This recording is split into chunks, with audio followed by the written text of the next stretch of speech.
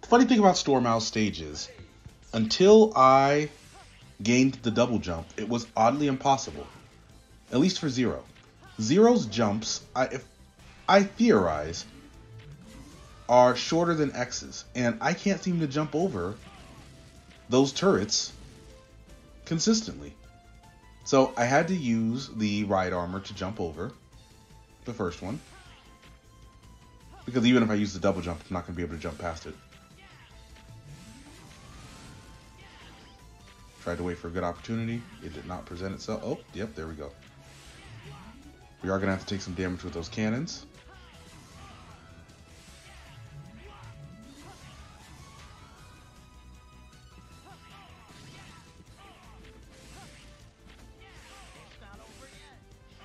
Nope, we're taking a few hits there, but we're almost at the end of this section, so it's nothing. It's no biggie. There we go. All right, section two. This might be the section that, if you're going to complain about the pacifist run, this is where you're going to complain about it. So we go ahead and take out the barrier and take some hits where we need to. It's better to, uh, to hit the robots than to hit the giant red death beams. But the mini boss is what I'm talking about. I don't consider anything in the boss or mini boss rooms to count against the pacifist run. If you do, you are going to have difficulty with what I'm doing here. I don't.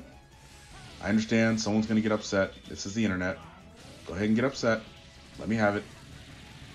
Tell me that I'm ashamed to the pacifist name. And then show me how you would do it.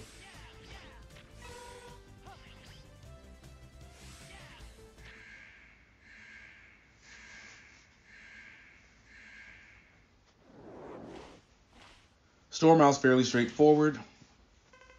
His weakness works best on him the closer you are to him, which I know encourages you to take damage, but